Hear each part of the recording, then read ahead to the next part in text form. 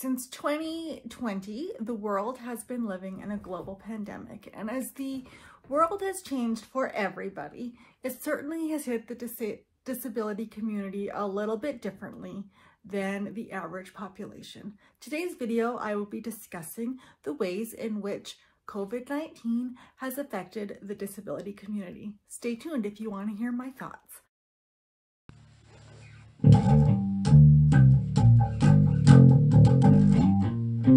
Hi everybody and welcome back to my channel. Hi, my name is Blemi. I'm a 36 year old woman who lives with spastic diplegia cerebral palsy. And on this channel, I give my thoughts and my experiences living with cerebral palsy. Most of this channel is disability related, but I do throw a little bit of lifestyle and fashion content in now and again. Thank you for joining me today. I know it's been a hot minute since I've posted. If you want to know where I've been and what I've been up to, I will link it up here. Also, I will link that video in the notes below if you want to have a look.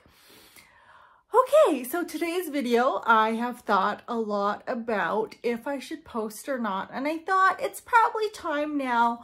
The world has been living with the global pandemic of COVID for a good two and a half years. And as the world is slowly coming back to normalcy, um, I thought I would talk about the ways in which I believe the pandemic has affected the disability community. Now, a big disclaimer, excuse me, I am in no way an expert on the topic. I am in no way um, saying that this list is inclusive or that it affects every disabled person in these ways. It's not a complete list. These are just my thoughts and my feelings on the topic. So if you really don't want to hear more about this, then please, this video is not for you. Feel free to check out my other videos, like them, subscribe, like this video, subscribe, and let's get so in early 2020, the world was hit with the global pandemic and it seemed like that our world had changed completely overnight. Whether you were locked down or you weren't, um, things had definitely changed. And for the disability community, things changed a lot. Here are just some of the ways that I believe the world has changed for the worst for the disability community.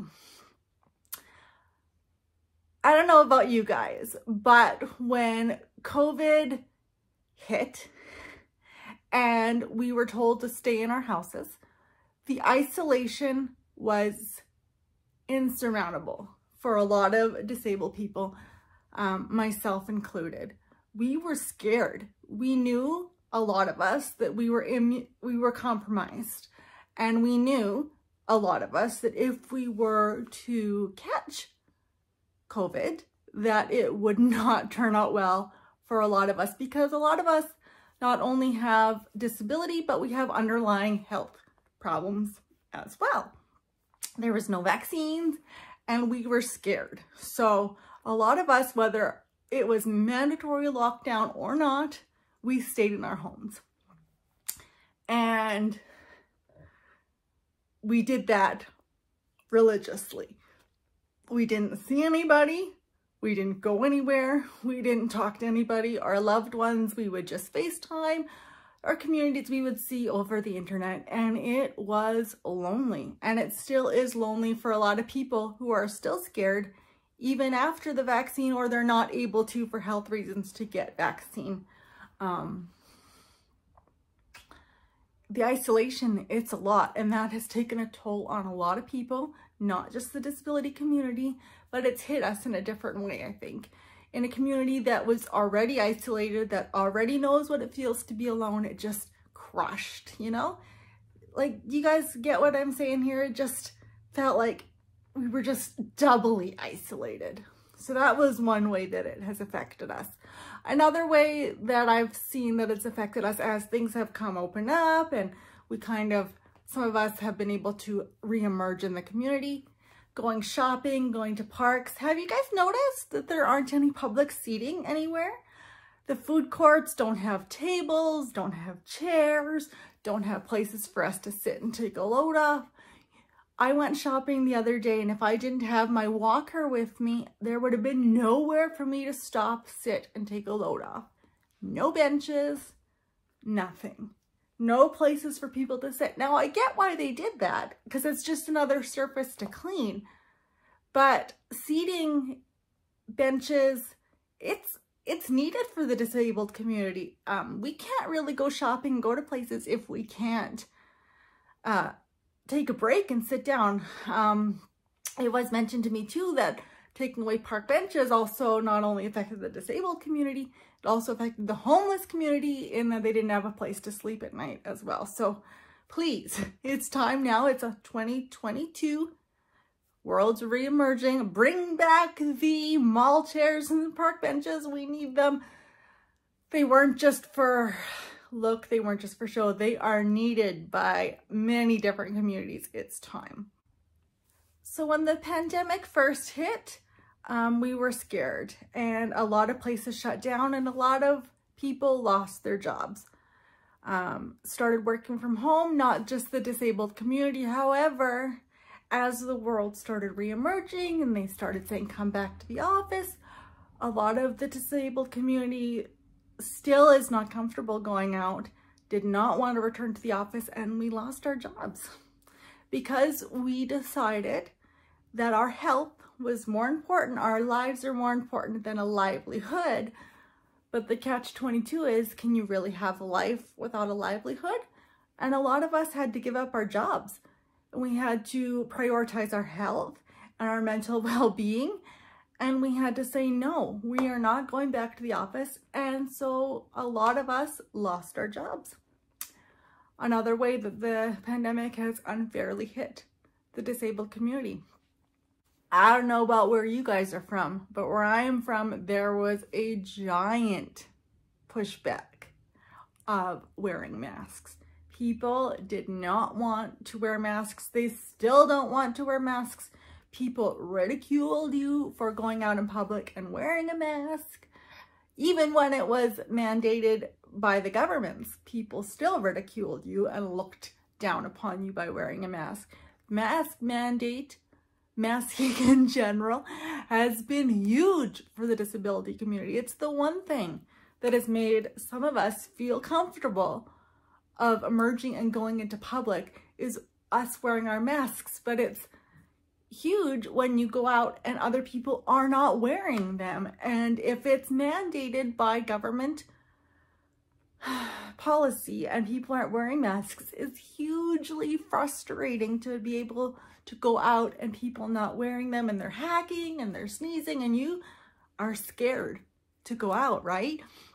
And for the disabled community, the masking has been huge people not wearing masks have been huge and us being ridiculed for wearing masks has been huge. I don't know how many times during this all this that I've heard, well, people that have health problems just shouldn't go out. I'm not wearing a mask because I don't care about these people that have health problems. They shouldn't be going out.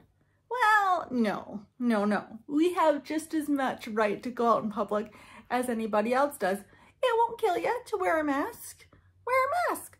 It's to the point now where if it's mandated to wear them and you don't wear it, you look goofy. You look like the idiot. So I will continue to wear my mask until I feel comfortable. Um, not doing so in public. I may always wear a mask in public. You know, if it's if it's not mandated anymore by your government, you're free to choose. That's great. Choose to wear one, choose not to wear one. I don't care. But don't give me a hard time for choosing my health and my safety over appearances. You know, if it's mandated, wear it. People and their privilege, you can tell, you can certainly see the people who have never been told no in their entire life through this whole pandemic are the ones that are having the most trouble giving up freedoms, you know? Try being a dis disabled body. We have given up freedoms, body autonomy our whole life, and this is just another thing. And the wider community, They don't like being told what to do with their bodies. We've been told what to do with them our entire life. So welcome to our lives, right? I don't know, just, just some thoughts of mine. Okay guys, so these are my musings for today. I know it's just a little bit of a heavy topic. Shoot me a comment below what changes that you've seen have negatively affected the disabled community. Give this video a thumbs up if you like my disabled comment. Hit the subscribe button, please, please, please. It helps me out. Share this video. Let the broader community know how we've been affected. Maybe some people don't know that it's affected us so horribly and we're scared for our lives because we know that if we get it, there's a good chance that it's not going to go well. All right, guys, that's my heavy topic for today. Happy Sunday. Until next time. Bye-bye.